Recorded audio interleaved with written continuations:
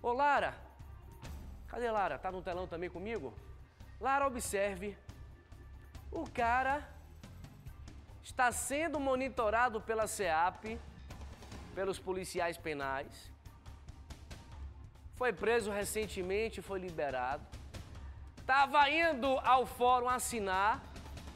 De repente, Lara, quando ele saiu dirigindo o carro, o que foi que aconteceu, Lara? Boa tarde. Boa tarde, Marcelo, para você e todo mundo que nos acompanha aqui no Alujuca. É uma história que realmente chama a atenção pela ousadia desse homem, né, Marcelo? Emerson Santos de Brito, de 22 anos, ele foi até o Fórum Criminal de Sussuarana assinar um termo justamente para a manutenção da liberdade provisória dele. Ele participou dessa audiência no Fórum de Sussuarana, assinou esse termo e na saída do fórum, os policiais policiais do batalhão Apolo fizeram uma abordagem.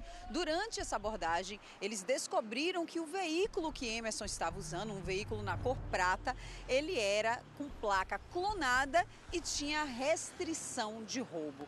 Dessa forma, Emerson acabou sendo preso novamente, Marcelo. O tenente-coronel Assemani, que é o comandante do batalhão Apolo, ele chamou a atenção, comentou justamente sobre isso, sobre a ousadia e a reincidência nesse tipo de crime. Mas eles conseguiram fazer esse flagrante e Emerson Santos de Brito, mais uma vez, foi conduzido para a Delegacia de Repressão a Furtos e Roubos de Veículos.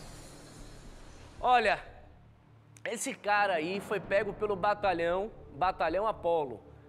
Lara já passou as informações. Tornozeleira eletrônica e carro roubado. Foi preso em abril, em abril agora e agora mais uma vez preso pela Polícia Militar.